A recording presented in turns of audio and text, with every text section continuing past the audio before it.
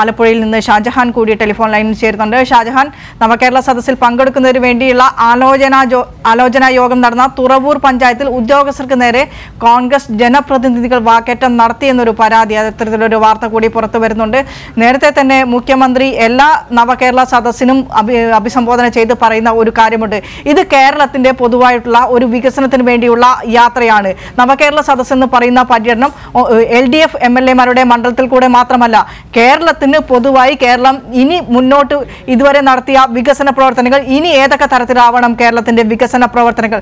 അത്തരത്തിലുള്ള ഒരു വികസന പ്രവർത്തനങ്ങൾ ചർച്ച ചെയ്യുന്ന നവകേരള സദസ്സിൽ നിന്ന് എങ്ങനെ യു ഡി എഫ് ജനപ്രതിനിധികൾക്ക് വിട്ടുനിൽക്കാൻ കഴിയുമെന്ന ചോദ്യം എല്ലാ നവകേരള സദസ്സിലും മുഖ്യമന്ത്രി ഉയർത്തുമ്പോൾ കോൺഗ്രസ് നേതാക്കൾക്ക് തന്നെ നമുക്കറിയാം പാലക്കാട് കെ വി ഗോപിനാഥ് അടക്കമുള്ള മുതിർന്ന കോൺഗ്രസ് നേതാക്കൾ ഈ നവകേരള സദസ്സുമായി സഹകരിക്കാമെന്ന് പറഞ്ഞ് എന്ത് വന്നാലും തന്റെ തീരുമാനമാണ് നവകേരള സദസ്സിൽ പങ്കെടുക്കുമെന്ന് മുതിർന്ന കോൺഗ്രസ് നേതാക്കൾ ഗോപിനാഥിനെ പോലുള്ള മുതിർന്ന കോൺഗ്രസ് നേതാക്കൾ പറയുമ്പോൾ പലർക്കും ഈ നവകേരള സദസ്സിൽ പങ്കെടുക്കാൻ താല്പര്യമുണ്ട്.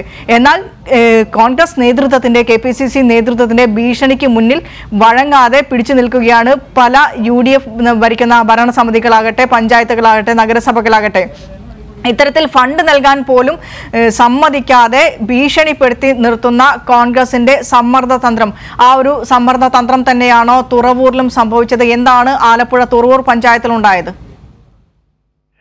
വിനിഷ തുറവൂർ പഞ്ചായത്ത് എന്ന് പറയുമ്പോൾ യു ഡി എഫ് ഭരിക്കുന്ന ഒരു പഞ്ചായത്താണ്. എട്ട് ഇടതുപക്ഷ പ്രതിനിധികളും ഒൻപത് ഭരണസമിതി അംഗങ്ങളുമാണ് അവിടെ ഭരിക്കുന്നത്. അങ്ങനെയാണ് അവിടുത്തെ ഒരു ബി ജെ പി അംഗം. ഇതാണ് അവിടുത്തെ കക്ഷി നില ഇങ്ങനെ ഭരണസമിതി ഇത് നവകേരള സദസ്സുമായി ബന്ധപ്പെട്ട് അതിൽ പങ്കെടുക്കും. അതിനെ സഹായിക്കുന്നതിനും വേണ്ടിയിട്ട് അജണ്ട വെച്ച് തീരുമാനിച്ച ഒരു യോഗമായിരുന്നു.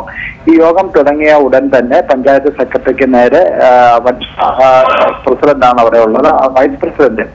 അദ്ദേഹം സെക്രട്ടറിക്ക് നേരെ വളരെ മോശമായ പദപ്രയോഗങ്ങൾ ഉപയോഗിച്ച് ഈ അജണ്ട വെച്ച് ചർച്ച ചെയ്യുന്നതിനെതിരെ അദ്ദേഹം രംഗത്ത് വരികയുണ്ടായി. ഇതിനുശേഷം ഇത് എല്ലാ പഞ്ചായത്തുകളിലും ജനപ്രതിനിധികളുടെ നേതൃത്വത്തിൽ നടന്നു വരുന്ന ഒരു പ്രക്രിയയാണ്. നവകേരള സദസ്സിനെ സ്വാഗതം ചെയ്തുകൊണ്ടും അതിനെ സഹായിക്കുന്നതിനുമാണ് ഈ പഞ്ചായത്തിൽ തങ്ങളുടെ ആവശ്യങ്ങൾക്കും കൂടി വേണ്ടിയാണ് ഈ യാത്ര നടക്കുന്നത്. അതിനു വേണ്ടിയിട്ട് സഹകരിക്കണമെന്ന് പഞ്ചായത്ത് സെക്രട്ടറിക്ക് തന്നെ അഭിപ്രായപ്പെട്ടു ഇവരൊക്കെ സദസ്സത്തെ മറ്റും അധിക്ഷേപിച്ചുകൊണ്ട് പുറത്തേക്ക് ഇറങ്ങിപ്പോവുകയായിരുന്നു. അതിനുശേഷം മറ്റംഗങ്ങൾ ചേർന്ന് വാർത്താക്ക് ഭൂരിപക്ഷത്തിന്റെ അടിസ്ഥാനത്തിൽ മറ്റംഗങ്ങൾ